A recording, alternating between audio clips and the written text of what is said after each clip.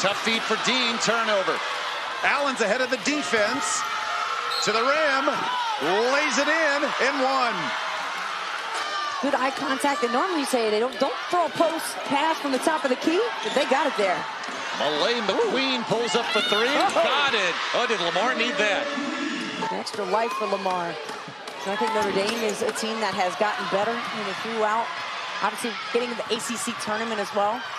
Allen to the rim in double figures. Her team up seven. Another play for her. Paige Allen is really showing her talents. The senior from Missouri.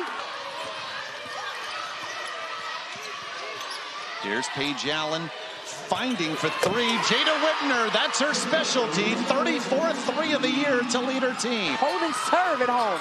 You want Davis to get the ball. She just has three field goal attempts today. Instead, Dean fires. Yes, and a foul. Closest Lamar has been in some time. Go for it. It's the Sabria Dean show lately. Unable to connect. Davis. There it is. Five-point game. Here she comes. McQueen to cut it to three. No. Davis. Rebound in her hands. Off the mark. Another board. Puts it in, but it's still a two-possession game with 19.5 left. Wilstead the inbounds. Finds Aguado. All Oh, over my the goodness. rim.